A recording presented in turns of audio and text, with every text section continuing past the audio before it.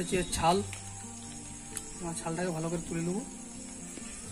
ছালটা ভালো করে তুলে দেওয়ার পর, এই যে পিচ্ছল অংশটা আছে, সেটাকে হাত দিয়ে বা ছুরি দিয়ে এরকমভাবে ঘষবো। যাতে এদের মধ্যে যে খাদ্যবস্তু সরবরাহ হয়, তার সংযোগটা বিচ্ছিন্ন হয় এবং এই জায়গার থেকে যেমন শিকড় বেরোয়। Root hormone powder